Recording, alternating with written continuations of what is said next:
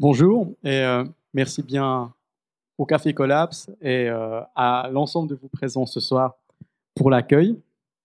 C'est euh, pour moi un privilège de pouvoir être là ce soir à plusieurs titres. Tout d'abord parce que le, le cadre dans lequel se passe cette intervention est un cadre que je privilégie, c'est-à-dire c'est un cadre dans lequel on cherche à la fois à parler de ce qu'on appelle la collapsologie. Là-dessus, je précise que je ne m'identifie pas euh, en tant que collapsologue, je m'intéresse à ces processus-là. Et c'est un cadre qui permet non seulement d'aborder ces thématiques-là, mais qui permet de les aborder, en tout cas de ce que j'ai compris et ce que j'ai pu euh, percevoir, avec une rigueur et une distance qui rend l'exercice scientifiquement acceptable. Et euh, c'est une,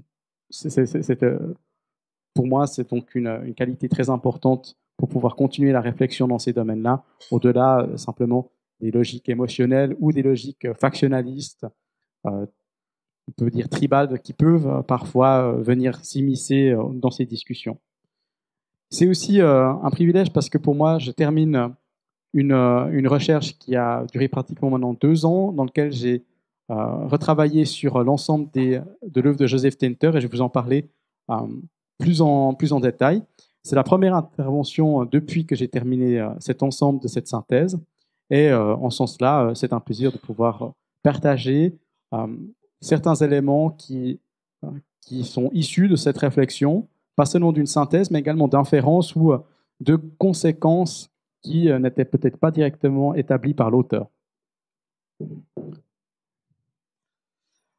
Je vous propose d'aborder cette intervention en trois et un quatrième axe. Euh, tout d'abord, présenter brièvement euh, à la fois Joseph Tenter et, euh, l'intervenant de ce soir. Ensuite de quoi vous évoquez le modèle d'évolution que Joseph Tenter développe. Ensuite de quoi une évaluation à la fois du modèle tout comme des trajectoires actuelles. Et après une pause pour quelques questions une réflexion profonde de la durabilité selon Joseph Tenter et comment celle-ci vient interroger, parfois de manière euh, relativement frontale, la conception de la durabilité qu'on a majoritairement aujourd'hui.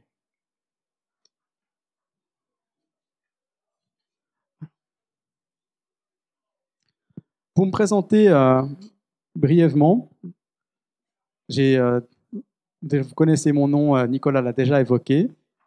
Je suis rédacteur adjoint pour la Revue militaire suisse, qui est une publication, je le précise, indépendante de l'armée. Je suis également membre du comité scientifique euh, du Centre d'histoire et de prospective militaire.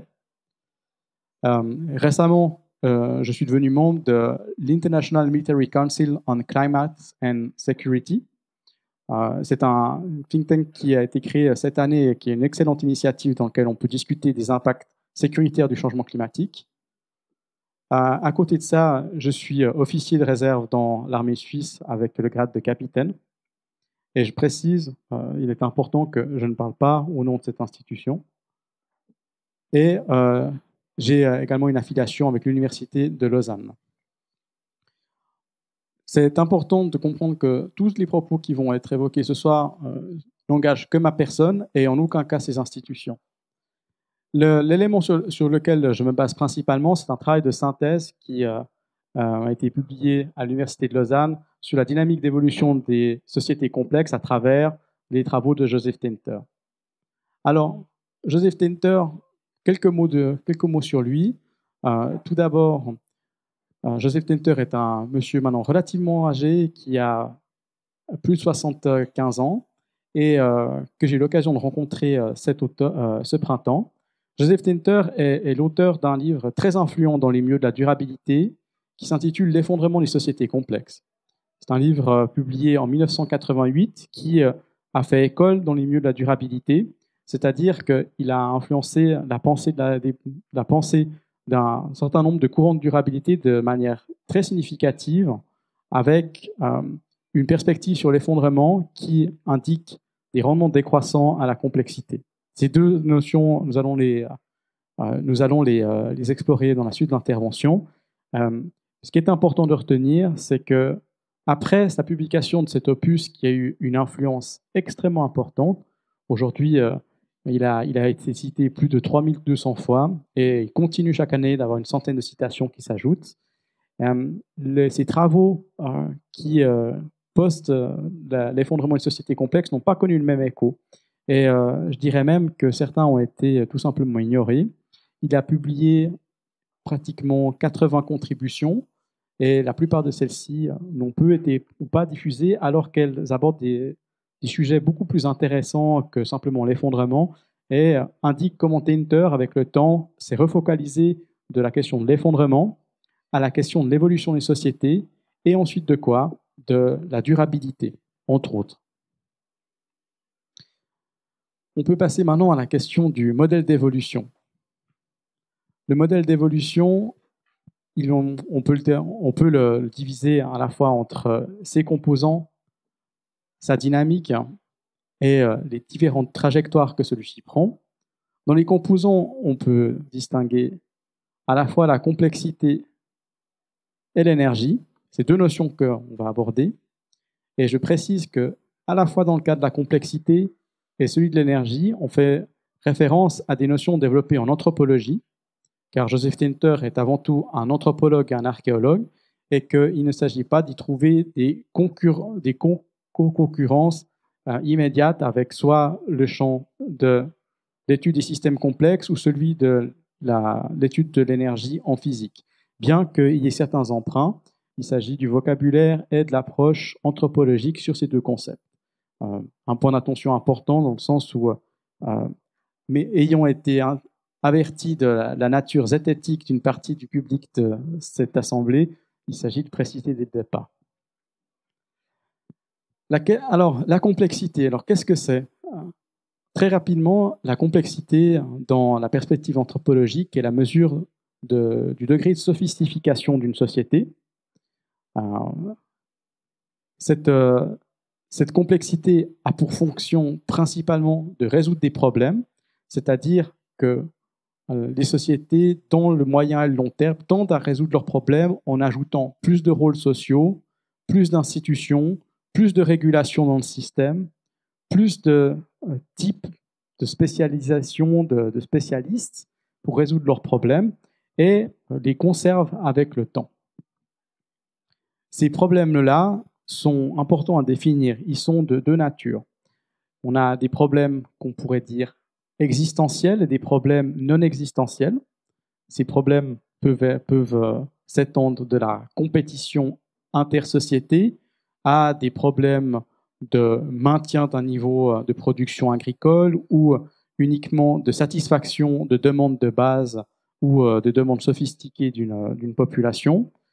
Et ces problèmes-là concernent deux catégories d'acteurs. C'est la société dans son ensemble, c'est-à-dire, euh, des problèmes peuvent être à la fois, euh, euh, peuvent à la fois toucher une société dans, dans son maintien par rapport à un compétiteur, ou bien elles peuvent toucher un groupe particulier dans les sociétés qui a une influence prépondérante, ce sont les élites. Les élites, par leur nature et leur contact privilégié avec le pouvoir, détiennent une influence particulière sur l'évolution des sociétés. Les problèmes qui dans les élites, qu'elles soient politiques, économiques ou, euh, techniques, qui les affectent, vont disproportionnellement affecter l'évolution de la société, euh, ne serait-ce que parce que le, maintien des élites au pouvoir requiert de pouvoir assurer une légitimité. Et cette légitimité, elle, euh, elle se sécurise en... Alors, tout d'abord, notre définition de la légitimité. Légitimité est, en anthropologie, on le regarde comme ça, c'est la, croyance pour laquelle le, le, pouvoir est exercé de manière juste et correcte et que les personnes qui l'exercent sont les bonnes personnes. Et euh, cette croyance est très importante à entretenir. Elle s'entretient en reversant une partie des bénéfices d'un système global à la population. Ces bénéfices peuvent être symboliques, ils peuvent être matériels, ils peuvent être économiques. Et dans ce cadre-là, un problème de légitimité pour un groupe social comme les élites est un problème qui affecte la société dans son ensemble. Si pour, si pour s'attacher le soutien d'un groupe, pour rester au pouvoir, il est nécessaire de dépenser plus d'argent ou euh, d'accroître la qualité des services publics de manière à être considéré comme un groupe digne d'être au pouvoir parce qu'il y a un bénéfice en retour de cette action, eh bien les sociétés vont donc accroître leur complexité, accroître le nombre de rôles sociaux, de bénéfices sociaux, d'institutions particulières de manière à satisfaire ce besoin-là. Cette précision étant, euh, étant évoquée, on peut passer au prochain point. La complexité peut être mesurée de, dans deux dimensions. La première dimension est ce qu'on peut appeler la complexité structurelle? C'est le nombre de parts et les types de parts d'une société. Ces parts peuvent être des institutions, peuvent être des rôles sociaux, peuvent être euh, des, euh, des types de réglementation. Et euh, une société qui est extrêmement diverse dans ses types de parts ou ses nombres de parts n'est pas forcément complexe. Elle le devient uniquement lorsqu'on ajoute un deuxième aspect, une deuxième dimension à la complexité, qui est la différenciation organisationnelle. L'organisation, c'est, dans la pensée euh, de Joseph Tinter, c'est le,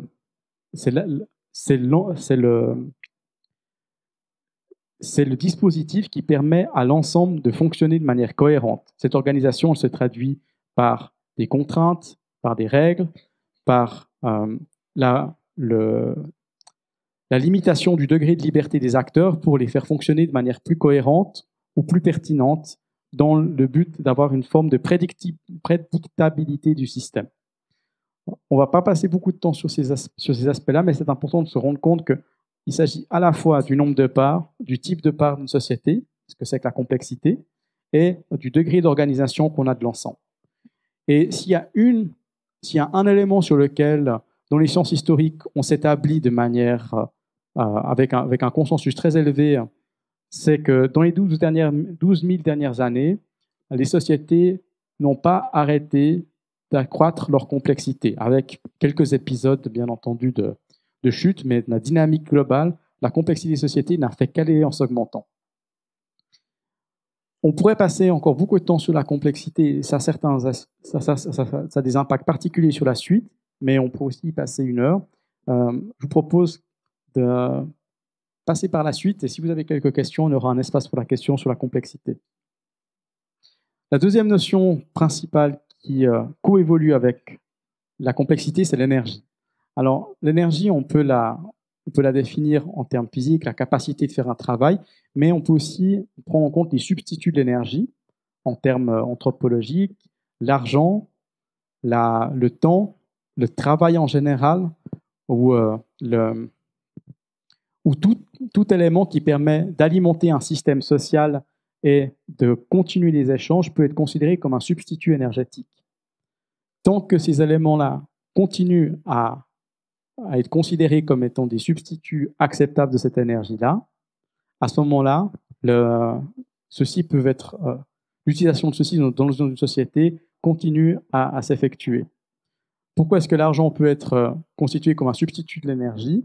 Parce que l'argent permet, à travers une promesse, soit d'extraction future d'énergie, pouvoir rembourser une dette, ou bien à travers l'achat d'un produit ou d'un service qui a nécessité lui-même de l'énergie, il effectue un transfert symbolique dans lequel le produit, soit de l'extraction future d'énergie, soit de l'extraction présente ou passée, est échangé d'une personne avec une autre. La complexité et l'énergie interagissent de trois différentes manières. On peut les résumer de cette manière-là. À travers une double hélice, une forme de spirale, et le premier cas euh, d'interaction, c'est que la complexité requiert de l'énergie. Plus les sociétés sont complexes, moins elles ont de rôles sociaux d'individus qui sont consacrés à l'extraction primaire d'énergie. Et donc, il est nécessaire d'extraire par, tête, euh, je veux dire, au total, beaucoup plus d'énergie que par le passé pour pouvoir soutenir, pouvoir permettre l'existence d'individus, de rôles sociaux, d'institutions qui ne sont pas directement productrices d'énergie. Et donc, par conséquent, toute croissance de complexité requiert une croissance de la consommation énergétique. Le second élément, c'est que euh, l'énergie supplémentaire peut générer de la complexité. Et elle se génère de la manière suivante, c'est-à-dire que lorsque il s'agit de d'extraire plus d'énergie, il peut être nécessaire d'accroître la spécialisation technique ou la spécialisation organisationnelle, le nombre et le type de rôles sociaux ou de type de technique pour pouvoir mettre en, en production cette énergie. Dans une certaine mesure, c'est aussi ce qu'on retrouve dans les dynamiques d'intensification d'une source d'énergie. Lorsqu'il s'agit d'en produire plus, il est généralement nécessaire de rajouter des dispositifs techniques ou euh, des dispositifs organisationnels, des, pressions pour euh, accroître la capacité de capture de cette énergie. Et en, troisième, point, l'extraction de l'énergie requiert de la complexité. Euh, je l'ai déjà en partie évoqué. je réalise que crois que j'ai interverti les deux. Pour venir sur le, deuxième, la génération de complexité s'effectue aussi à la fois dans la lignée du principe de Howard Odum sur la, puissance maximale, c'est que les écosystèmes et les humains, dans une certaine mesure, ne sont pas, indifférents, tendent à maximiser leur capture énergétique, et ceci produit de la complexité dans, le seul but d'accroître le, potentiel adaptatif, car euh, les, systèmes qui maximisent leur capture énergétique ont des avantages par rapport à leurs compétiteurs, ne serait-ce que parce qu'ils sont capables de générer plus de complexité de manière à avoir, des, avantages qui soient économiques ou bien militaires sur, euh, sur les compétiteurs. Quelques mots donc sur la dynamique d'évolution des sociétés. Deux éléments principaux dans cette dynamique, c'est euh, euh, les rendements décroissants et c'est le cadre d'évolution.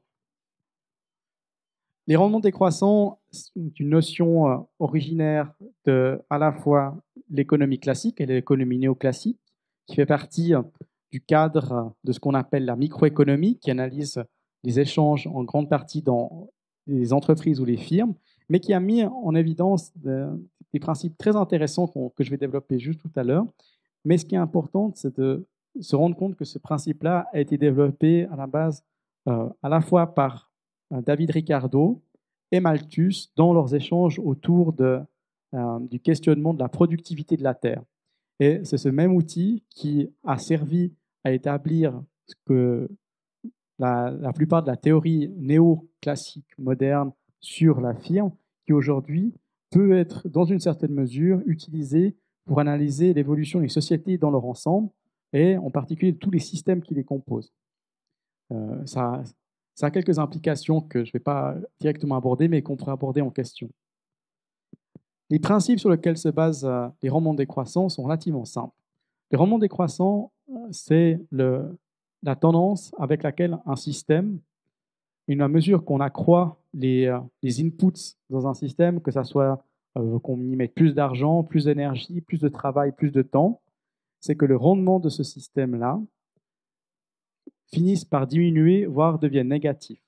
Pour être précis, il y a même, on, a, on a une période au début dans laquelle ce rendement augmente et ensuite de quoi diminue. On va le voir en détail. Euh, la raison pour laquelle les rendements tendent à décroître avec le temps, par unité de temps, d'énergie ou de travail, c'est que euh, c'est ces deux principes. C'est à la fois ce qu'on appelle le principe de moindre effort, et ensuite de quoi ce qu'on appelle en français, qui ne sonne pas très bien, mais le meilleur avant. Le principe du moindre effort est la tendance avec laquelle les individus, les systèmes sociaux dans une certaine mesure et euh, euh, les, systèmes vivants en, majorité euh, tendent à sélectionner les solutions qui, sont les moins coûteuses en termes énergétiques, qui coûtent le moins d'efforts en premier, de manière à assurer leur conservation d'énergie et à conserver un avantage adaptatif par rapport à une autre entité. Le principe de meilleur avant est une forme de déclinaison corollaire qui euh, stipule que les, humains, dans certaines contraintes, notamment le fait d'avoir accès à suffisamment de technologie, de savoir où aller chercher, viennent exploiter en premier lieu les gisements, les sources énergétiques, euh, peu importe, toute, toute forme de ressources qui sont les plus abordables, les plus facilement exploitables et les plus facilement transportables en premier lieu. En conséquence, euh, ces deux principes-là montrent, euh, tendent, à, illustrer comment est-ce que les sociétés se sont développées. Alors, avec bien sûr quelques exceptions, mais si on prend la dynamique d'ensemble, elles sont toujours développées en sélectionnant les solutions les plus simples en premier lieu, et en, ayant, en investissant dans les technologies qui donnaient les plus grands rendements en premier lieu, pour ensuite sélectionner celles qui donnaient moins de rendement par obligation.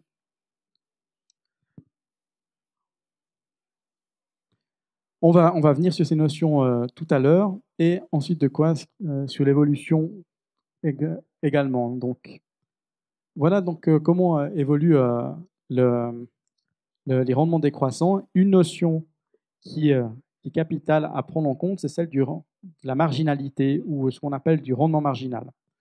Le rendement marginal, c'est l'augmentation ou la diminution de la production ou de l'output ou de la, du bénéfice global d'un système à chaque fois qu'on ajoute une unité qu'elle soit d'énergie, qu'elle soit, euh, qu'elle soit euh, monétaire ou qu'elle soit en temps.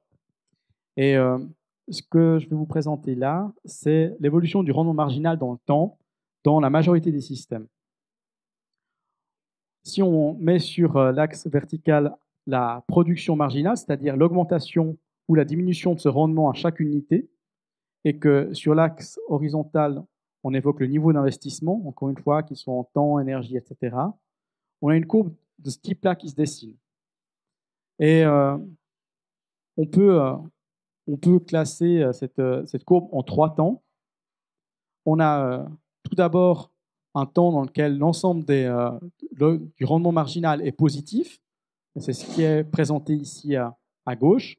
Et ensuite, un moment dans lequel il devient négatif. C'est rare, mais ça se produit. Dans la première phase, on a des rendements croissants. La seconde phase est les rendements décroissants, d'où euh, le nom de la loi, parce que c'est là où la majorité des systèmes se situent. Et on a, dans certains cas, des rendements négatifs. Ce qu'il faut bien comprendre, c'est que la première phase est caractérisée par une croissance importante des rendements, la seconde par une décroissance de ceux-ci, mais l'ensemble de la production ou du rendement total du système demeure positif et ensuite de quoi une, diminution de la production totale parce que les rendements deviennent négatifs.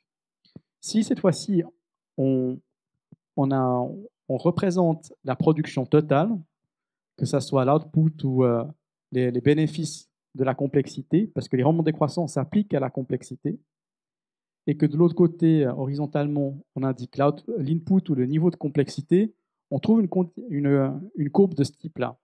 Elle correspond aux trois temps évoqués précédemment, avec euh, dans les rendements euh, croissants, l'ensemble du bénéfice et de l'output augmente et augmente de manière croissante. Ensuite, de quoi, avec les rendements décroissants, l'output continue d'augmenter, mais de manière décroissante, et atteint un point, un point euh, où ces rendements, les rendements total du système vient à, à arriver à, ne, plus pouvoir croître. Et ensuite de quoi, dans les rendements négatifs, hein, c'est des situations qui, euh, qui se trouvent dans la littérature économique, dans lesquelles on continue d'investir, mais le rendement total de l'ensemble finit par décroître. Pour aller très rapidement sur euh, la comparaison de ces trois phases, ce qu'il faut retenir, c'est que dans la première phase, je l'ai déjà dit, mais je le répète, euh, les, les, les rendements, les, bénéfices de la complexité ou les bénéfices du système sont euh, plus importants que, les coûts et euh, que l'ensemble des bénéfices continue de croître. Dans la phase décroissante, les coûts deviennent plus importants que les bénéfices et de manière croissante, mais l'ensemble du bénéfice total ou du rendement demeure positif.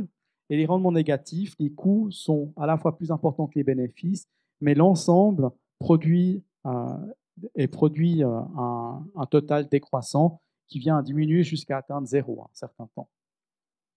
Pour donner un exemple d'un système qui euh, est sujet à des rendements décroissants, je vous propose celui de l'exploitation pétrolière. Parce que, je l'ai évoqué, les rendements décroissants s'appliquent à pratiquement tout type de système. il est difficile d'en trouver qui, qui, ne montrent pas cette dynamique-là, ou généralement c'est uniquement de manière temporaire. Euh, et l'extraction énergétique est également sujette à ce même type de dynamique. On a ici la, plaine de Los Angeles dans les années 1890. Euh, euh, à cette époque-là, on pouvait creuser à 50 ou 20 mètres et trouver du pétrole sous la plaine, on pouvait le creuser avec, c'était le cas du, premier prospecteur dans la région, Edward Doheny, en ayant taillé un tronc d'eucalyptus de, manière euh, particulièrement tranchante qui permettait de pénétrer dans une certaine mesure l'argile et la roche jusqu'à jusqu'à euh, toucher la, la, nappe de pétrole et uniquement récupérer ce pétrole-là car euh, la pression était telle que ce pétrole sortait sans, sans effort. Donc le, le retour sur investissement par rapport à le forage du puits était considérablement élevé.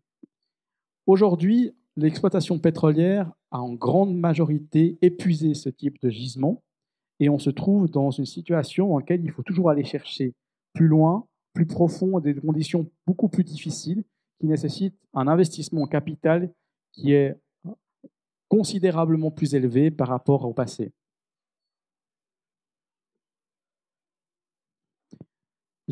Cette situation est aujourd'hui encore peu répandue, mais elle devient de plus en plus euh, convoitée par euh, les prospecteurs pétroliers pour des questions de disponibilité.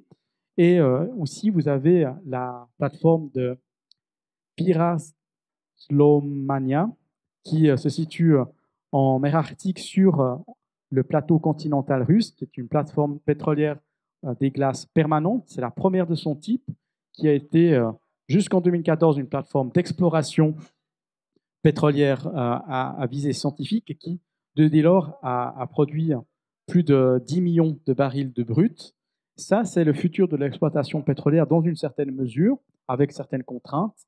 Et c'est un futur dans lequel la complexité, le type de part, le, nombre de parts, l'organisation nécessaire pour faire fonctionner toutes ces parts et l'énergie nécessaire pour alimenter ce système est de plus en plus important.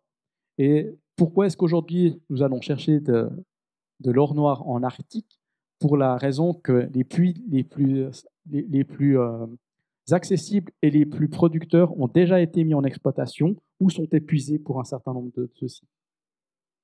Je vais passer donc à la suite. Le cadre d'évolution des sociétés peut être caractérisé par trois éléments. Le premier, c'est une application mesurée du darwinisme, respectivement de l'évolution, du cadre de l'évolution biologique aux sociétés. Second, c'est le, dans, cet élément-là, c'est le cadre de sélection qui a une influence majeure sur la dynamique d'évolution. Et euh, avec ceci, la compétition, la rivalité et la coopération. Donc quelques mots pour le darwinisme avant que on vienne, euh, comment dire, craindre le retour de cette idéologie euh, qui n'a rien de scientifique qu'est le darwinisme social. Ce qu'il faut saisir du darwinisme, ce qu'on peut appeler de l'évolutionnisme généralisé, qui est euh, très probablement son itération la plus moderne et la, plus, la plus complète dans sa transposition des principes de l'évolution biologique à des principes plus vagues d'évolution, c'est que c'est que l'évolution des systèmes tend à suivre des, euh, lois similaires. Euh, et ces principes, les principes qui régulent ces lois sont généralement, enfin, sont, sont au nombre de trois. On a le principe de variation, de sélection et de transmission. On peut aussi parler d'héritage. Je ne vais pas rentrer en détail dans ces éléments-là. Mais euh, ce qu'il faut comprendre, c'est que dans ces principes-là, le principe de sélection a une influence très particulière et prépondérante dans l'évolution. Euh, le principe de sélection ne fait pas écho à une sélection téléologique, c'est-à-dire une sélection des entités, euh, des systèmes sociaux ou euh, des individus basée sur une, lecture morale ou bien une lecture qui prédirait a priori quel type de système va être sélectionné. Par sélectionner, ce qu'on entend, c'est qu'un système continue de survivre après un certain temps. Et le principe de sélection a une influence majeure car euh, il est de manière observationnelle et non euh, téléologique, on peut clairement, euh, on peut clairement observer que dans le, dans le temps, certains systèmes sont sélectionnés et sont d'autres périssent. ce qui, ce qui est, à l'œuvre en grande partie dans le principe de sélection, c'est comment est-ce que les systèmes vont s'adapter ou non. Ils peuvent ne pas s'adapter être sélectionnés tout de même, où ils peuvent s'adapter, l'adaptation qui consiste à dans ce cas-là à accroître leurs chances d'être sélectionnés en, évoluant de manière en évoluant de manière à accroître leur adaptabilité par rapport aux circonstances qu'ils imaginent dans lesquelles ils vont être sélectionnés.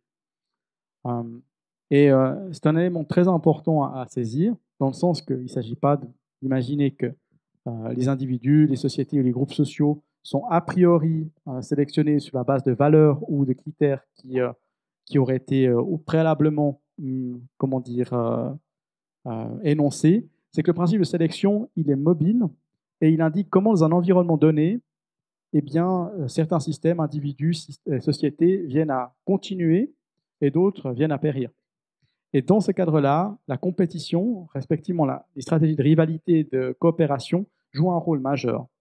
Et euh, cette compétition, c'est en particulier euh, la dynamique par laquelle euh, les, les, conditions de sélection viennent à se, à se modifier et tendent à ne favoriser la sélection que d'un certain nombre de systèmes qui partagent des caractéristiques similaires ou des caractéristiques qui leur permettent d'atteindre un niveau similaire. Et euh, dans ce cadre-là, les systèmes qui euh, ne permettent, qui ne, qui, euh, comment dire les choses simplement, qui, qui ne sont pas en capacité d'être compétitifs, ils peuvent être compétitifs soit en étant rivaux, soit en étant coopératifs, sont, sont détruits ou sont désélectionnés avec la suite.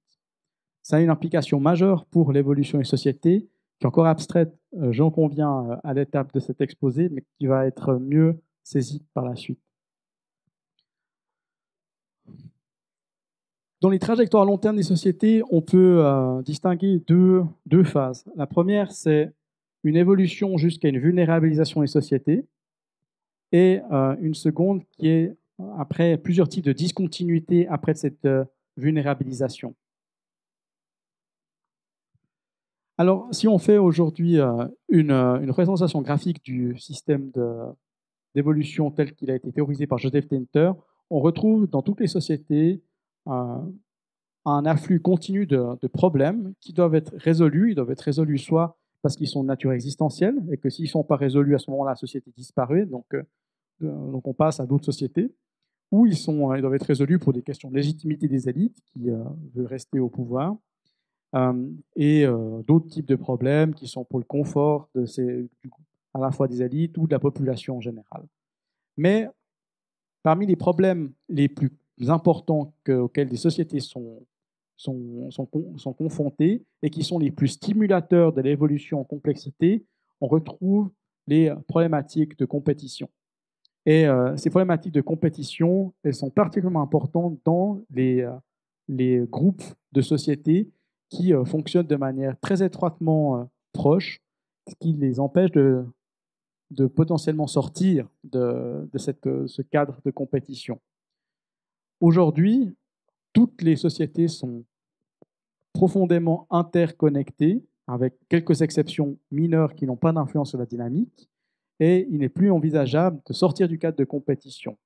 Sortir du cadre de compétition, c'est se mettre, euh, se mettre en position de vulnérabilité euh, dans plusieurs cas de figure qu'on va, qu'on va voir par la suite. Par conséquent, si les sociétés veulent rester à même niveau technologique, économique et militaire, même si cet élément-là est peu discuté aujourd'hui, il a une influence considérable dans l'évolution jusqu'à aujourd'hui des sociétés et continue pour la fois les questions politiques et économiques de façonner la, la, tendance et euh, l'accroissement considérable en complexité contemporaine. Ces problèmes continus nécessitent, comme on l'a vu auparavant, d'accroître euh, la complexité et cet accroissement en complexité requiert une capture d'énergie toujours plus importante. Cette capture euh, d'énergie, comme cet accroissement en complexité, comme on vient de le voir, sont soumis à, au rendement décroissant, c'est-à-dire ce phénomène avec lequel le, rendement, l'output d'un système tend à diminuer à mesure qu'on continue d'investir dans celui-ci. Et euh, ces rendements décroissants provoquent à terme deux éléments. On a d'une part, un épuisement de ce qu'on appelle la capacité de réserve. La capacité de réserve est la capacité, euh, à pouvoir mobiliser des nouvelles ressources énergétiques, économiques, euh, symboliques, qui sont à mesure de payer le coût de la complexité, c'est-à-dire de suffisamment mobiliser d'énergie indirectement, que ce soit à travers des substituts ou de l'énergie brute, dans le cas par exemple du pétrole, pour pouvoir financer la complexité.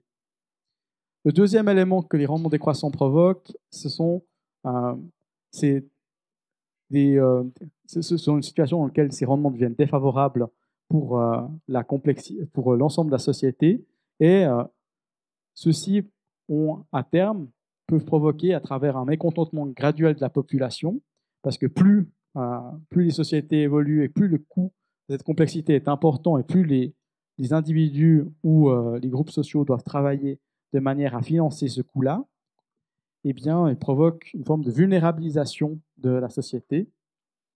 Et euh, dans le cas de l'épuisement de la capacité de réserve, euh, on a une perte de résilience qui vient vulnérabiliser la société. La résilience, c'est dans ce cadre-là la, capacité à pouvoir rebondir après un choc qui nécessite de résoudre un problème et qui, euh, par sa résolution, nécessite plus d'énergie. Lorsqu'une société a épuisé sa capacité de réserve, elle ne peut plus faire face à des problématiques euh, immédiates sans devoir sacrifier un, élément de, son fonctionnement actuel. Et comme euh, la dynamique d'évolution des sociétés, en particulier la légitimité des élites, requiert de maintenir des systèmes qui euh, reversent une partie des bénéfices à la population, il est très difficile pour les sociétés, historiquement, de réduire leur complexité pour résoudre de nouveaux problèmes. Une fois que les sociétés sont vulnérabilisées, euh, elles peuvent tout de même, dans deux cas de figure, essayer de, de, pouvoir euh, aller au-delà de leurs problèmes immédiats qui nécessitent, dans le cas des rendements défavorables comme d'épuisement de la capacité de réserve, d'intensifier soit la capture énergétique pour pouvoir continuer à résoudre de nouveaux problèmes, ou bien euh, de faire de la conquête territoriale ou de la conquête immatérielle afin d'amasser des autres concentrations d'énergie ou de substituts d'énergie pour pouvoir financer la complexité. Et euh, ceci est également sujet de nouveau à des rendements décroissants, que ce soit la conquête territoriale.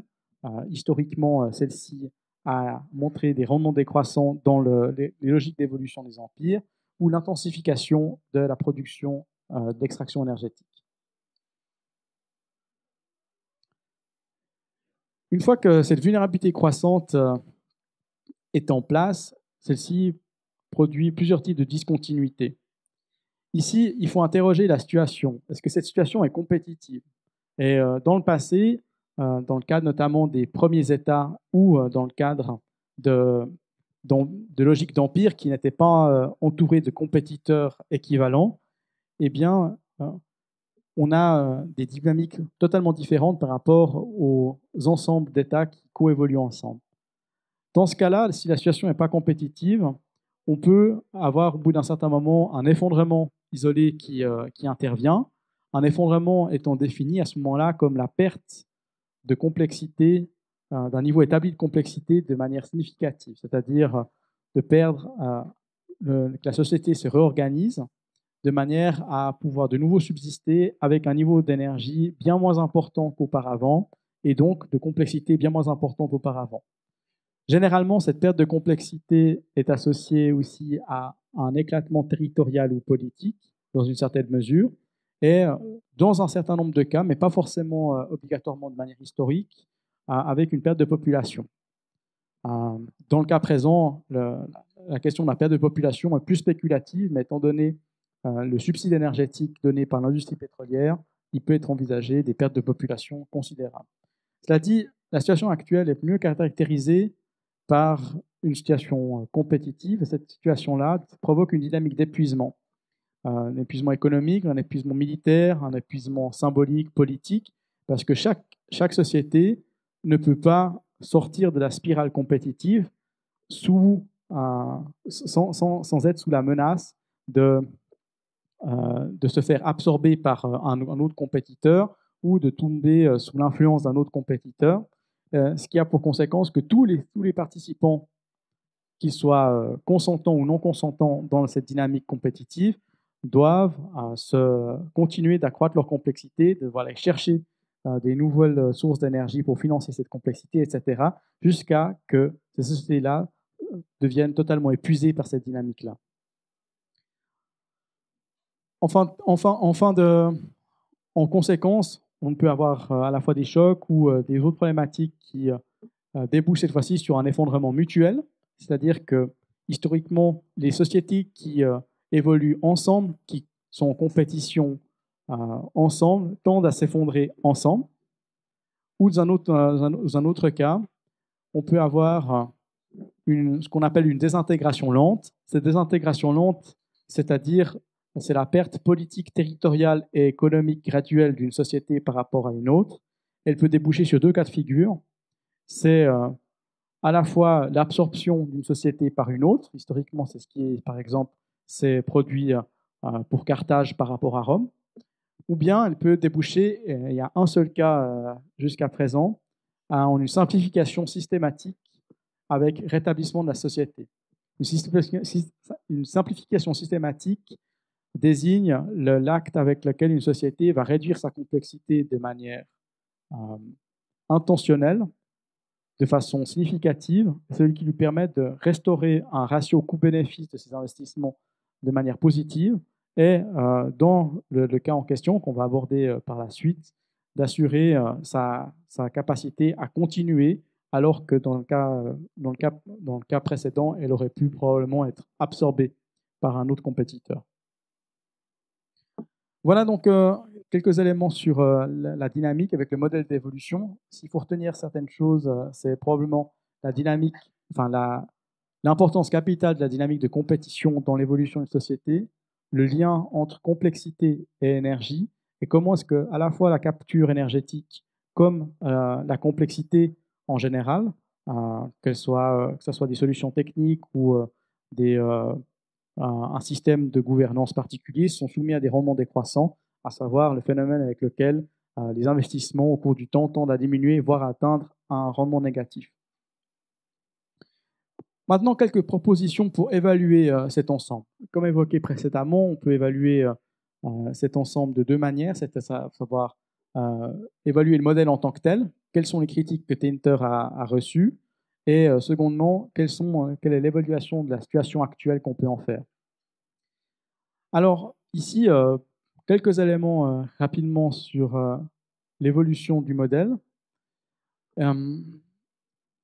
Tinter a eu énormément d'influence dans le milieu de la durabilité, mais a été relativement peu critiqué dans ce milieu-là. C'est surtout les archéologues ou les anthropologues qui se sont penchés de manière académique sur, euh, sur ses écrits. Et euh, pour témoigner de l'influence de son œuvre, et en particulier de l'effondrement d'une société complexe, son premier opus, eh bien, on peut évoquer le nombre de, reviews qui ont été adressées sur, le, sur le livre en question. Et on, on, trouve plus de 10 reviews avec à peu près avec 4 reviews supplémentaires qui interviennent dans les années qui suivent ou euh, à la suite de la traduction française que j'ai pu trouver, ce qui indique un intérêt considérable pour, euh, pour ces écrits. De manière... Euh, euh ah, manque, une animation. De, façon synthétique, on peut évoquer que la réception de son œuvre a, été, connu un, accueil très favorable la plupart de ses collègues, avec bien sûr euh, des critiques euh, mineures ou majeures dans certains cas. Les critiques majeures concernent le, cas mobilisé de l'effondrement de l'Empire romain, qui n'est pas d'intérêt ici et qu'on ne va pas évoquer, mais ce qu'on peut dire très rapidement, c'est que le cas de l'effondrement de l'Empire romain et sa mobilisation sont émotionnellement, symboliquement et politiquement très chargés et qui répondent à des agendas et à des paradigmes d'évaluation différents et ce qui aujourd'hui fait foi, et, ou en tout cas est, est mis en avant, ne faisait peut-être pas foi il y a 20 ans. Et la conséquence de, cet élément-là, c'est qu'il est, est plus délicat et moins, comment dire, intéressant immédiatement pour la discussion aujourd'hui d'évoquer ce cas-là.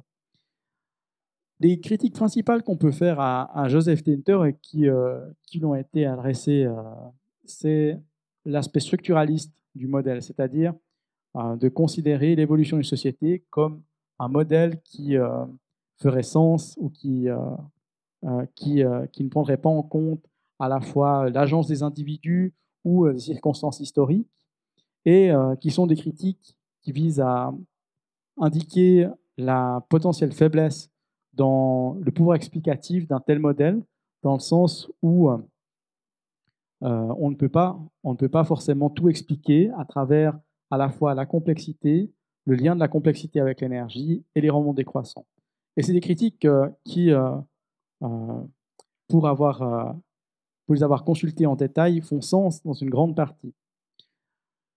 L'autre critique principale qu'on peut adresser à Joseph Tinter, c'est son approche économiste de l'évolution d'une société dans lequel on prend la complexité avec une fonction économique, dans lequel euh, on investit en complexité et on en retire des bénéfices avec une application de la théorie de la firme à l'échelle des sociétés et euh, qui n'est pas dénué de, de fondement, mais qui pose des problèmes, en, particulièrement en sciences humaines, dans la perspective a avec laquelle on approche les sociétés. en particulier, il s'agit de poser la question de quels sont euh, les rendements et euh, ces rendements-là, comment est-ce que ceux-ci sont calculés. Et euh, il est possible de les calculer de manière indirecte, mais pas de manière directe. C'est peut-être pour, pour, les, pour les personnes aujourd'hui qui, sont familiers avec les, controverses et les problématiques autour du, calcul d'Iroy, on retrouve à peu près les mêmes problématiques sur quand on souhaiterait calculer le rendement marginal d'une société. C'est compliqué. Et euh, surtout, peut-être là, peut là réside le cœur de la critique, c'est qu'en fonction de la position que, que tout un chacun a sur le spectre du, euh, débat entre formaliste et substantiviste, eh bien, euh, là réside l'opposition ou l'acceptation des, thèses de Tinter. Alors, pour donner quelques éléments de contexte, le, le débat, le formaliste positiviste évoque le débat qui a eu lieu dans les années 50 et qui continue aujourd'hui, euh, en particulier dans certains milieux de la durabilité, à, agiter, euh, euh, certaines sphères. La, position formaliste est la position qui prétend que les comportements économiques sont universels ou qui deviennent universels et que par conséquent, on peut juger l'ensemble des sociétés à travers ou enfin des sociétés ou des, individus ou des firmes, etc., à travers les mêmes principes notamment, euh, comme c'était évoqué ici, euh, le présupposé de l'acteur rationnel. La, position substantiviste est de considérer que les savoirs économiques étant culturellement euh, construits, ceux-ci ne peuvent pas être universels et qu'il faut envisager d'abord en manière particulariste les comportements économiques des individus. On peut en partie résoudre cet argument en considérant le cadre de sélection. Ce cadre de sélection permet de mettre en évidence qu'aujourd'hui, si potentiellement tous les comportements économiques sont, sont, euh, sont culturellement construits, le cadre d'évolution a sélectionné les sociétés qui fonctionnent avec principalement des, euh, des, comportements économiques similaires et selon des dynamiques similaires. Et par conséquent, il s'agit plus de, il est plus pertinent de vouloir s'adresser à la nature même du comportement euh, et de la dynamique d'évolution euh, des entités, individus, sociétés, etc., mais d'uniquement considérer aujourd'hui quel est leur cadre pertinent euh, dans le cadre des sociétés. On peut aussi en partie aider la résolution de ce débat-là en considérant le pouvoir de la guerre et de la conquête dans, la sélection qui tend à favoriser les sociétés qui sont capables de produire plus pour ne serait-ce que armer leurs troupes ou bien avoir des avantages économiques. Euh, l'autre élément qui est proposé euh, par, par, un certain nombre de commentateurs, c'est le manque de la conciliation de l'agence et des circonstances historiques, et qui sont des points très intéressants parce qu'ils euh, renvoient fondamentalement à des postures sur, à la fois dans les sciences humaines et dans une certaine mesure les, sciences plus dures, sur la, capacité de l'être humain à affecter son environnement. Euh, ce que proposent les euh, partisans de l'approche de l'agence et euh, de la prise en compte des circonstances historiques, c'est que à la fois les décisions des individus peuvent avoir des conséquences majeures sur l'évolution de la société. Et il y a un nombre considérable d'exemples historiques qui abondent dans ce sens-là. Et que ces circonstances-là peuvent aussi manipuler et influencer ces mêmes décisions des, individus. Et là, ce qu'on trouve pour essayer de sortir de ce débat-là, c'est que il dépend encore une fois de la perspective avec laquelle on vient observer l'évolution d'une société. Si on l'observe à travers une perspective événementielle, qui est aujourd'hui euh, la perspective dominante euh, dans les sciences historiques, eh bien, l'agence euh, humaine, le pouvoir de décision et les circonstances historiques ont énormément de poids dans l'évolution des sociétés. Si maintenant on prend une perspective dans le millénaire, ou bien encore en considérant toute, l'évolution de la société depuis que la complexité se développe, eh bien, plus, plus on s'éloigne, enfin, plus on prend un, un, temps plus important, plus les dynamiques semblent prendre euh, le pas sur, sur l'agence humaine et les circonstances, encore une fois, à cause du principe de sélection qui tend à, à ne, qui tend à ne sélectionner que les, entités qui sont capables de rester, de demeurer en compétition et donc euh, qui euh, vient euh, diminuer ou dans certains cas écarter la, responsabilité de l'agence et des circonstances. Tant que l'agence et les circonstances historiques ne mettent pas en danger la capacité compétitive d'une société, eh bien, celles-ci ne sont pas problématiques pour la dynamique d'évolution. Et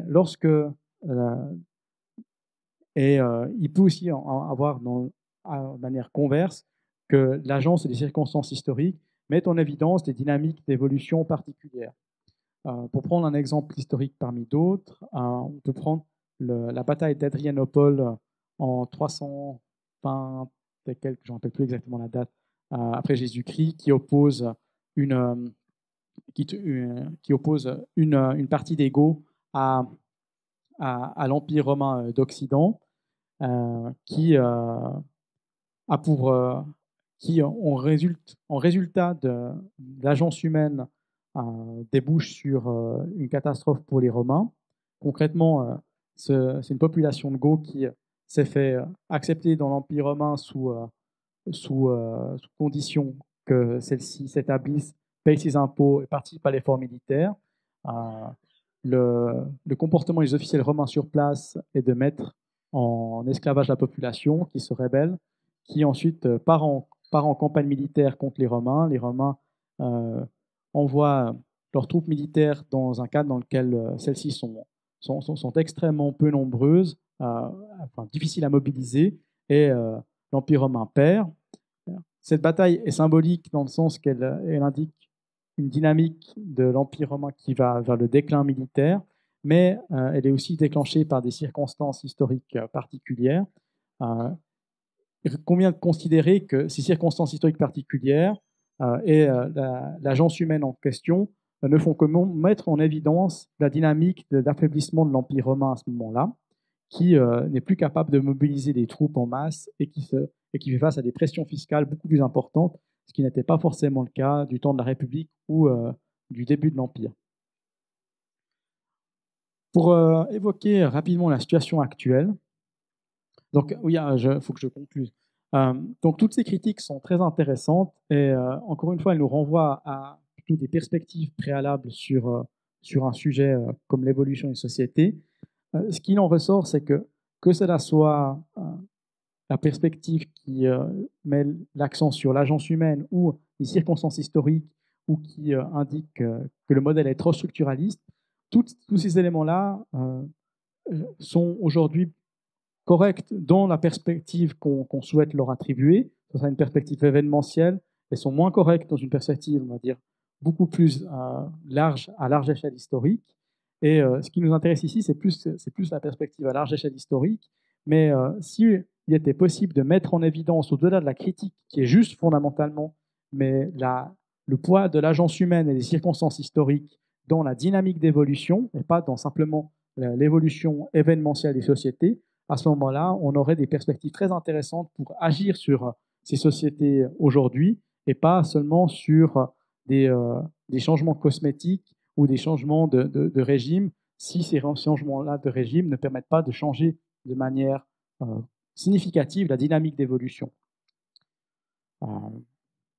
donc pour la situation actuelle, on va prendre quelques éléments. La complexité, comme évoqué précédemment, a augmenté de manière extrêmement considérable, surtout depuis la révolution industrielle.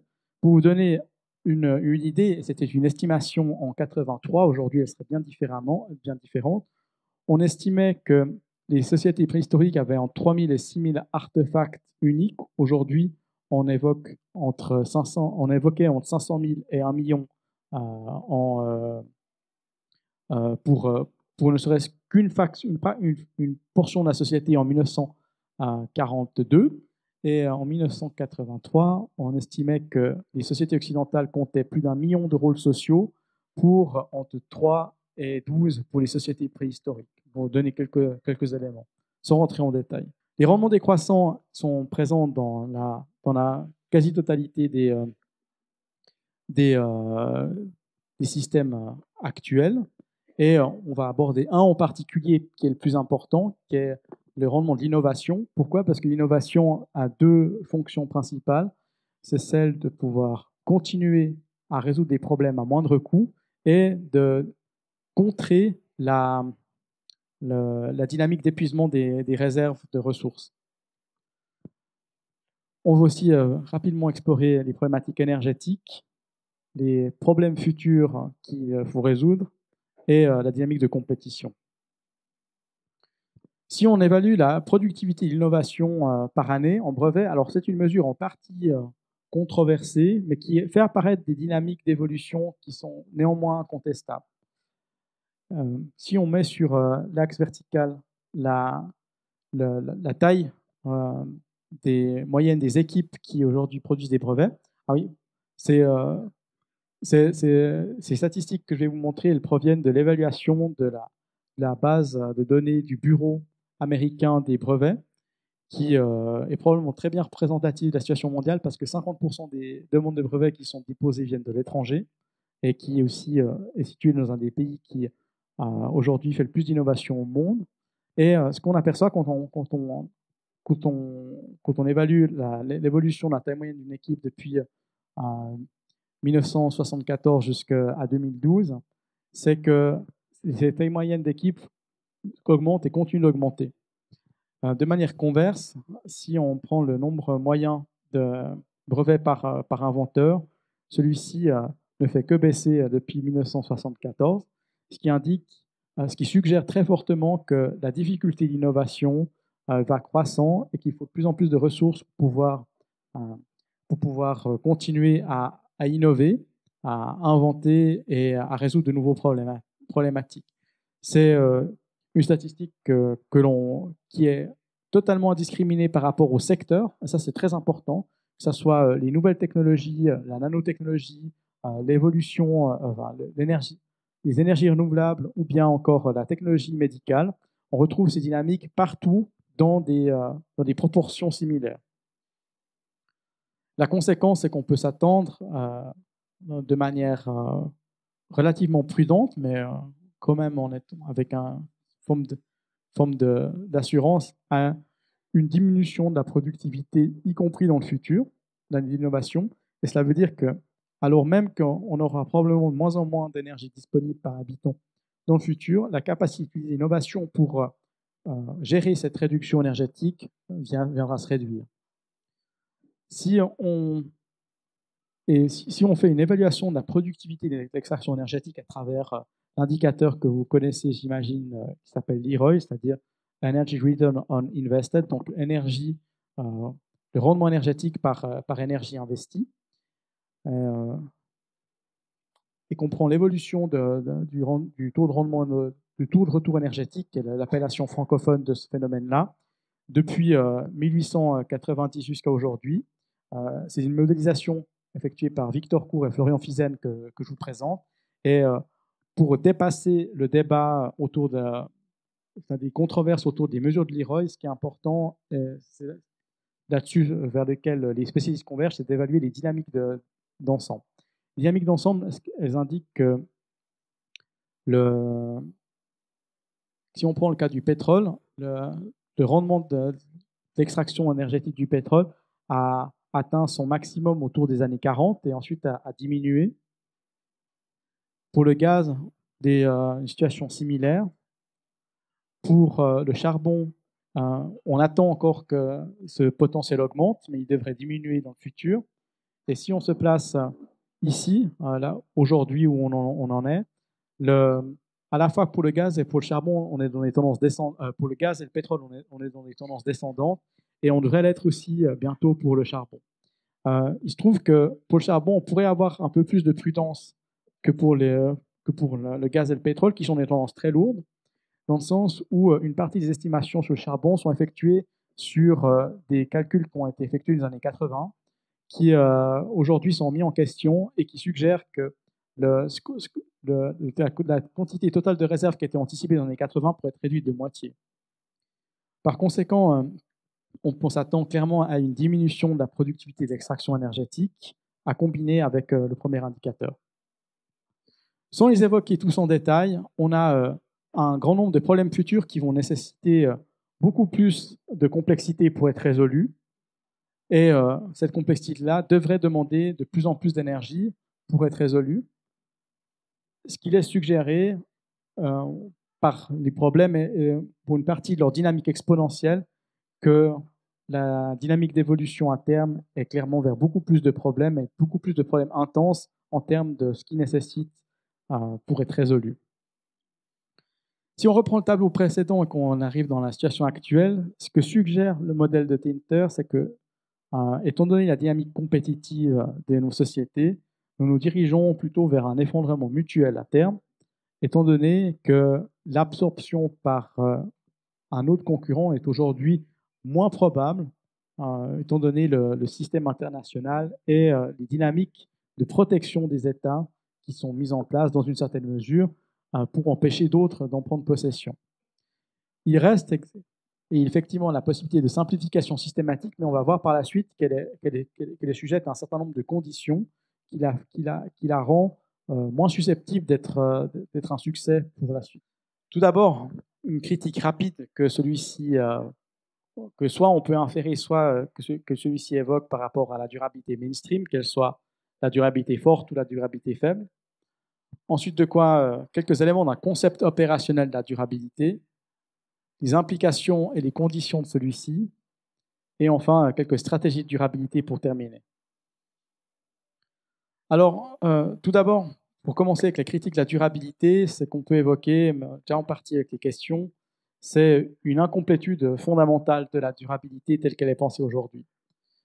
Ce que le cadre d'évolution de Joseph Tinter met en évidence, c'est l'importance primordiale de la compétition pour l'évolution d'une société et l'importance capitale de la légitimité pour le maintien des élites au pouvoir.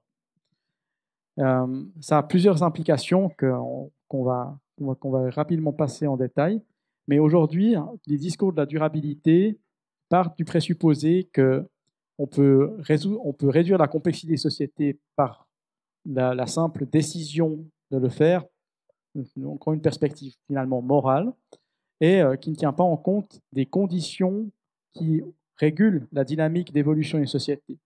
Et cette incomplétude fondamentale, elle, euh, est intéressante parce qu'elle renvoie à une autre incomplétude fondamentale qui critique une partie, euh, qui sont critiquées par une partie du discours de la durabilité. Cette autre incomplétude fondamentale, c'est celle de l'économie néoclassique. L'économie néoclassique est critiquée par les acteurs de la durabilité comme étant incomplète parce qu'elle ne prend pas en compte le rôle fondamental de l'énergie dans euh, l'évolution de la vie et dans la production de valeur. Et euh, c'est une critique qui est tout à fait correcte. Mais dans le cadre de la durabilité, qu'elle soit forte ou qu'elle soit faible, on ne prend très peu ou pas du tout en compte euh, l'importance du cadre de compétition et du cadre de, de nécessité de maintien de la légitimité des élites pour leur survie. Et par conséquent, on pourrait se tromper de manière importante dans comment est-ce qu'on envisage la durabilité. Parce que ce que suggère euh, ce cadre d'évolution euh, que, met en évidence Joseph Tinter, c'est que tant qu'il y aura de la compétition, il faudra accroître la complexité pour pouvoir se maintenir à niveau. Dans ce cadre-là, on, on pourrait considérer que les discours de durabilité aujourd'hui forment une forme de fiction cognitive. Cette fiction cognitive, c'est celle de euh, celle de nier les pressions évolutionnistes sur, sur la trajectoire d'évolution des sociétés, leur dynamique, et que par conséquent, euh, euh, tout ce qu'on nous propose pourrait, enfin, s'inscrit dans des perspectives événementielles et non pas des perspectives de changement de dynamique.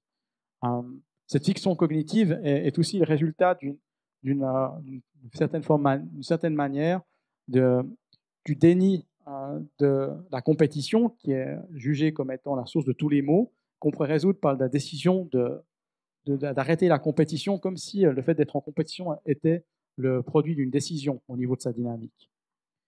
Et par conséquent, euh, la durabilité aujourd'hui est probablement inopérationnalisable, c'est-à-dire que tout ce que, tout, tout, tout, ce que nous indiquent les discours de durabilité, qu'ils soient de durabilité faible ou durabilité forte, euh, repose sur une euh, compréhension inadéquate ou incomplète de la réalité, mais suffisamment inadéquate et incomplète pour ne pas pouvoir fournir de, points d'action qui soient, euh, qui soient réellement significatifs.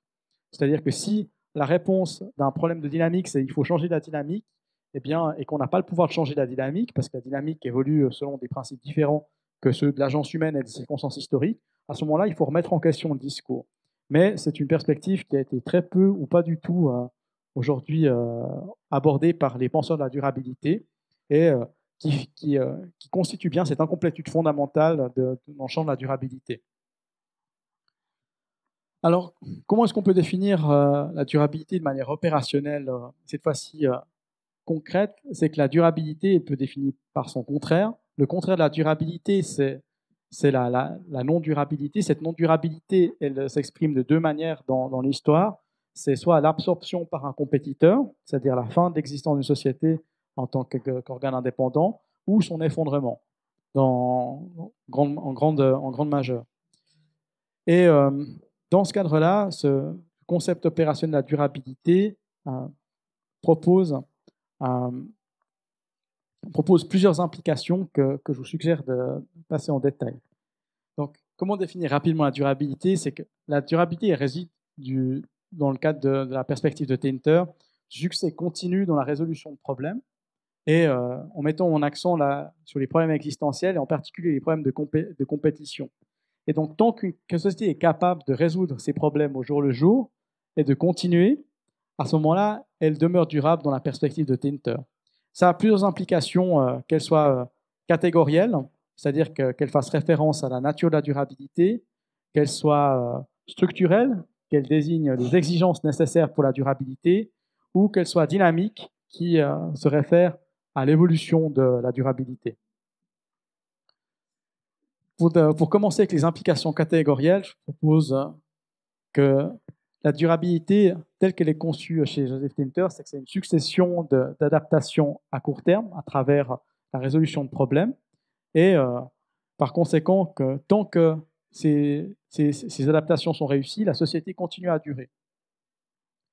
Ensuite de quoi C'est que euh, la durabilité est le produit d'une série de trade-offs. Un trade-off étant euh, le phénomène par lequel, en allant dans une certaine direction, on gagne quelque chose, mais on perd quelque chose dans une autre. Et que plus, une société est durable, plus en fait elle a consenti un certain nombre de trade-offs. Ces trade-offs étant généralement de gagner de la stabilité sur l'ensemble, mais euh, par rapport à euh, la stabilité sur, euh, sur une, petite aire géographique, mais le trade-off étant que lorsque des perturbations affectent l'ensemble d'un système, à ce moment-là, ce, système dans son entier est, affecté. Ensuite de quoi, c'est que la durabilité dans la perspective tinterienne est une condition active et pas passive elle est active pour, euh, pour deux raisons. C'est que pour résoudre des problèmes nécessite une posture active. Elle n'est pas passive parce que la durabilité ne résulte pas de consommer moins de ressources. Elle résulte, résulte du problème de, de pouvoir adresser euh, ce, problème de consommer moins de ressources ou de consommer trop de ressources, soit en, en, réussissant à en consommer plus, soit en se simplifiant de manière systématique. Mais c'est un exemple rare. La durabilité euh, dans la perspective tinterienne, elle se mesure dans le passé, c'est-à-dire la durabilité jusqu'à aujourd'hui. Une société qui a continué à être durable jusqu'à aujourd'hui, mais on ne peut pas projeter la durabilité dans l'avenir. Et euh, elle se produit dans le présent, c'est-à-dire que tant qu'une société est capable de continuer à exister, elle demeure durable. Et enfin, la durabilité future ne peut pas être euh, durablement garantie dans le sens où que, tant qu'une société est capable de continuer dans le présent, et c'est sa condition de survie qui est la plus importante, elle demeure durable par rapport au passé, mais que les mesures aujourd'hui prises dans le présent sont prises par rapport à la survie immédiate et pas par rapport à la survie future.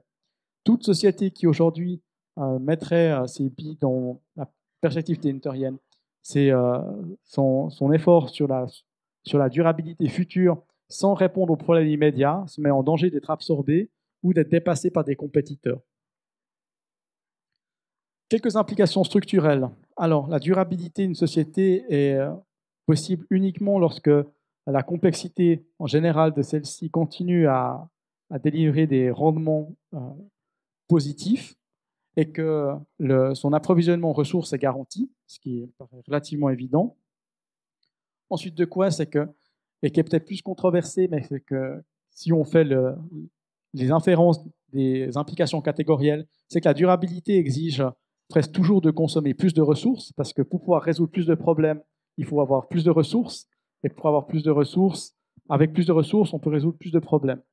Euh, compte tenu, euh, dans notre cadre en particulier, que euh, les problèmes futurs vont exiger probablement beaucoup plus de complexité pour être résolus, et que nous avons un problème de ressources. On se trouve ici dans un cadre relativement difficile dans lequel nos actions immédiates n'ont pas directement d'implication parce que c'est un une problématique de dynamique. Et enfin, euh, la durabilité implique une résilience. Et cette résilience, elle requiert une capacité de réserve. Et quand la capacité de réserve est épuisée, à ce moment-là, les sociétés se, trouvent en situation de danger par rapport à leur durabilité, car les prochains chocs ou les prochaines difficultés euh, ne risque de pas pouvoir être euh, résolu euh, ou, bien surmonté. Au niveau des implications dynamiques de la durabilité, on en trouve trois. C'est que, contre toute attente, la concurrence et la compétition peuvent améliorer la, durabilité d'une société. Et pour l'expliquer brièvement, c'est que tant qu'il s'agit de survivre immédiatement pour éviter l'absorption par un compétiteur, alors les sociétés peuvent continuer, enfin, va, se maintenir pour éviter l'absorption, quand bien même, dans le même contexte, sans, sans compétiteur, elle serait probablement déjà effondrée parce que les rendements, euh, les rendements de, la, de, la, complexité auraient été bien, bien, moins un, bien plus inférieurs que ce que la population aurait été d'accord d'allouer de, pour, euh, par rapport aux bénéfices qu'elle recevait en retour. Ensuite de quoi, c'est que la durabilité mène à, in fine à, à la non-durabilité, c'est que plus une société est durable, plus paradoxalement elle, se trouve en situation de danger pour, euh, pour son maintien, parce que plus elle est durable, plus elle devient complexe, plus elle, consomme de l'énergie, plus elle se trouve en situation dans laquelle euh, elle risque de, voir un à terme euh, s'effondrer, étant donné qu'elle aura probablement plus assez d'énergie, et que toute résolution de problème aujourd'hui accroît la, le, poids de, la complexité et donc de son coût en énergie ou en substitut d'énergie sur, la, euh, sur, euh, sur, la, sur cette société et sur la suite. Euh, ce sont des implications qui peuvent être assez étonnantes dans des milieux de durabilité conventionnels. Et la troisième, la dernière, c'est que dans, des cas très précis, la durabilité peut résulter d'une simplification sociétale, une simplification systématique, et il y a plusieurs conditions pour réussir cette cette simplification systématique. Alors il y a un seul exemple dans l'histoire d'une société qui s'est simplifiée euh, de manière systématique pour pouvoir répondre à ces problèmes immédiats euh, en améliorant son ratio coût-bénéfice. On va le voir de manière très brève euh, prochainement. Et je vous propose d'abord d'aborder les, conditions pour la précondition, précondition pour la simplification sociétale. Le premier, c'est que tout d'abord nécessaire qu'une menace existentielle soit perçue au niveau de la société, en particulier de ses élites. Secondement, c'est que cette menace euh, doit être jugée comme euh, dépassant la capacité de la société à, la résoudre à travers un accroissement de complexité, respectivement que le, ratio coût-bénéfice de la, complexité euh, est, est, défavorable pour pouvoir permettre de continuer à résoudre ce problème-là à travers un accroissement de complexité. Ensuite de quoi la simplification systématique doit être identifiée comme étant une des possibilités euh, de, la société en question. Et ensuite de quoi euh, la société doit avoir les moyens hiérarchiques d'imposer cette simplification sociétale. Donc, dans le cadre de, de l'exemple en question, rien n'indique que cette simplification s'est déroulée dans la joie et la bonne humeur, en particulier pour les élites aussi. Ensuite, les post-conditions pour euh, la réussite de cette euh, simplification sociétale, parce qu'il est possible que d'autres exemples soient, déroulés dans, l'histoire, mais qu'on n'ait pas les traces parce qu'il y a eu, euh, absorption par un compétiteur à une époque où il n'avait pas encore de registre écrit.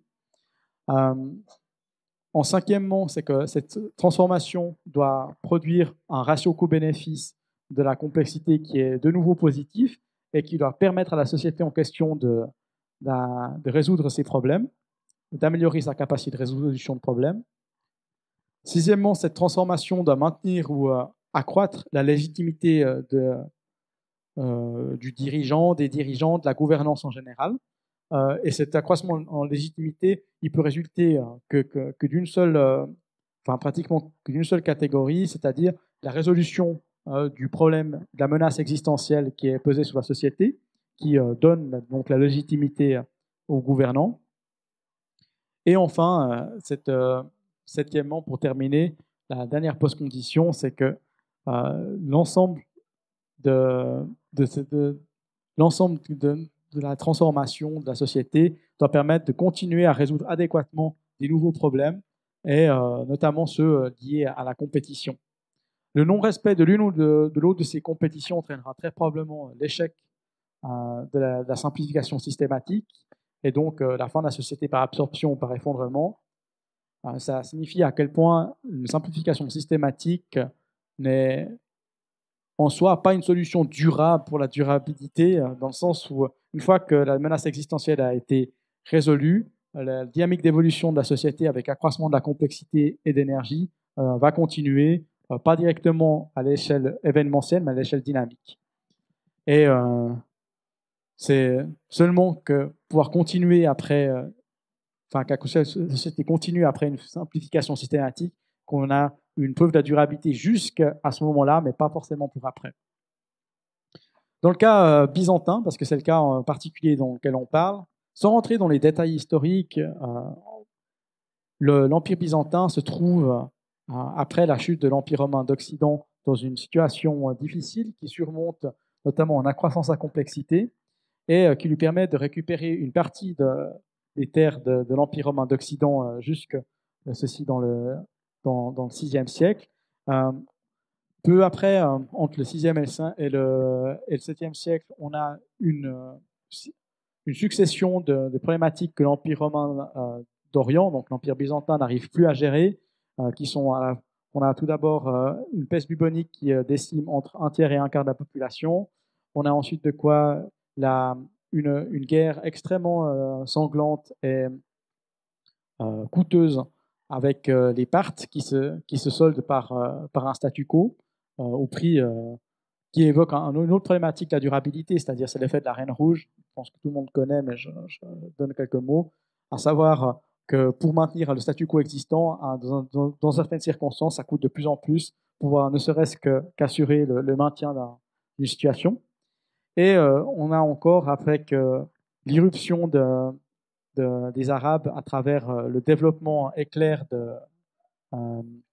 l'islam, un nouveau adversaire militaire qui vient culbuter les Byzantins et menace d'absorber la plus grande totalité de, leur empire. C'est-à-dire qu'en l'espace de, de, 10 ans, l'empire byzantin, dans, au, au, au 6e siècle, perd euh, pratiquement 50% de sa, superficie, ce qui, euh, ce qui mène l'empereur euh, d'alors, malheureusement j'ai oublié son nom, à, à choisir de, à la faveur d'une trêve avec le, calife le calife d'Alep de, de, de, simplifier la société de manière systématique. parce que on a l'ensemble des conditions qui étaient évoquées préalablement qui sont, qui, ont été, euh, qui sont satisfaites. Et euh, on passe d'un système dans lequel euh, auparavant le soleil était alimentait des cultures qui elles étaient comment dire traitées et dans lesquelles on, extrayait des impôts qui venaient alimenter une bureaucratie et qui venaient alimenter l'armée, à un système militaire totalement différent, qui est une innovation dans, son, qui est une forme d'innovation rétrograde, dans lequel le soleil continue d'alimenter des cultures, mais ces cultures-là viennent soutenir immédiatement des paysans soldats à qui l'empereur a accordé des terres considérables qui étaient dépopulées depuis à la fois les invasions parthiennes et ensuite arabes et en fonction de la peste bubonique. Ce système-là permet de réduire de manière massive les coûts de l'administration byzantine qui avait, avait épuisé tous les ressorts qui, lui étaient préalablement possibles, notamment la dévaluation monétaire. Et ce système-là permet de ralentir la progression des Arabes en, Asie mineure, puis même à partir du, du 8e siècle et qui, se concrétise le 9e et le 10e siècle, un inversement de tendance. Et lorsque l'Empire romain abandonne ce système militaire, qui est le système des thèmes, au, Xe siècle, l'Empire romain a, pratiquement redoublé en taille, ce qui indique clairement que la, stratégie en question a été un succès. Alors, une fois qu'on a vu ces éléments-là, quelques conséquences pour la durabilité des sociétés modernes à la lumière de cette intervention, puis après on arrive à la fin, c'est que, quand tout attend, nos sociétés sont durables aujourd'hui dans la perspective tinterienne, c'est-à-dire qu'elles ont duré jusqu'à aujourd'hui, ce qui euh, est une euh, preuve de leur capacité d'adaptation euh, par rapport au cadre général. que dans cette condition-là, étant donné que l'écologie politique est basée sur une, incomplétude fondamentale dans sa prise en compte de la dynamique, on peut s'attendre à un probable échec de l'écologie politique à terme, indépendamment de ce qu'on peut souhaiter en tant qu'individu. Et euh, qu'on a, dans ce cadre-là, besoin de nouvelles stratégies pour pouvoir accroître, pas forcément la durabilité, mais la survivabilité des territoires futurs. Euh, que ce soit des stratégies de survivabilité ou de durabilité, il faut que toute stratégie euh, dans le futur, si on infère ces éléments de, Joseph Tenter euh, prennent en compte un certain nombre de conditions et euh, peuvent s'opérer à plusieurs niveaux. Ces conditions, c'est qu'il faut que la compétitivité des sociétés dans, dans, le cadre international soit maintenue, peu importe les stratégies qui sont, qui sont choisies aujourd'hui dans, dans, le cadre de la durabilité. C'est-à-dire qu'on pourrait même avoir des simplifications systématiques si elles fonctionnaient, mais qui doivent maintenir la compétitivité internationale qu'elle soit économique ou militaire, avec peut-être cette fois-ci une emphase sur le, côté militaire. Et ensuite de quoi C'est que la légitimité des gouvernants doit être assurée respectivement que les stratégies peuvent leur être proposées qui assurent leur, la maintien de leur légitimité, ce qui aujourd'hui n'est pas le cas dans les stratégies euh, qui sont proposées, euh, que ce soit par euh, l'écologie mainstream ou bien l'écologie radicale, qui proposent globalement aux élites de mettre en place des, politiques qui euh, vont saper leur légitimité parce que euh, parce qu'on n'aura plus accès aux mêmes services, parce qu'on aura plus, euh, on mangera moins bien que le voisin de l'autre pays et que on ne sera pas capable de comment dire, d'indiquer la désirabilité sur le long terme des modes de vie qui sont proposés. Après, bien sûr, il y a des changements sociétaux qui peuvent, qui peuvent s'effectuer sur la marge, mais là, on parle de, la dynamique de la société et pas celle de, petits groupes qui, euh, qui, euh, qui, ont, un, engagement politique plus important que d'autres, mais qui ne pèsent pas forcément sur la dynamique. D'autant plus, il faut aussi considérer que les élites euh, répondent d'abord aux signaux horizontaux, qui sont les signaux des autres élites, et donc que si elles cherchent principalement à ressembler aux autres élites, il faut qu'on leur donne les moyens pour qu'elles puissent continuer à avoir des, modes de vie qui accroissent leur prestige ou leur pouvoir à l'international. Et ce n'est pas forcément impossible. Il y a déjà des exemples euh, potentiels de ce type de stratégie qui, qui, euh, se mettent en place. Il faut bien comprendre que si on prend ces niveaux euh, de, stratégie opérationnalisables, c'est que ce n'est probablement pas des stratégies de durabilité en tant que telles, mais c'est des stratégies d'accroissement de la, survivabilité des territoires, ce qui est une perspective, un changement majeur par rapport à ce que nous propose l'écologie politique. compte tenu que, si on prend en affaire ce que, ce que nous dit Joseph Tinter, euh, c'est que l'écologie politique est probablement vouée à l'échec dans son cadre actuel. Donc comment est-ce qu'on pourrait utiliser euh, ces éléments-là euh, au niveau de stratégie opérationnalisable Trois éléments, c'est d'utiliser la dynamique. Donc comment est-ce qu'on peut utiliser la compétition et la recherche de légitimité pour, pour mettre en place des stratégies qui accroissent la survivabilité C'est des axes de recherche qui devraient être développés aujourd'hui et qui sont déjà en train d'être mis en place par des entrepreneurs très concrètement sur le terrain, par exemple en Asie du Sud-Est. comment est-ce qu'on peut utiliser les logiques de marché? Aujourd'hui, non pas dans une perspective de, développement durable, mais une perspective d'accroissement de, la survivabilité à terme des territoires, dans la perspective qu'on ne peut pas changer les dynamiques de compétition internationale. Ça, c'est des, perspectives probablement intéressantes, mais qui sont euh, intellectuellement euh, plus exigeantes parce qu'elles nécessitent de dépasser un, certain nombre de préconditions présupposées sur ce que c'est que la durabilité et surtout ce qu'on aimerait euh, du développement futur. Ensuite de quoi, il y a l'inflexion du cadre, qui est probablement la stratégie la moins, la moins réalisable, mais qui, dans une certaine mesure, pourrait fonctionner. là, on peut faire référence à tout ce qui vient modifier euh, comment est-ce que les élites sont considérées comme légitimes ou pas.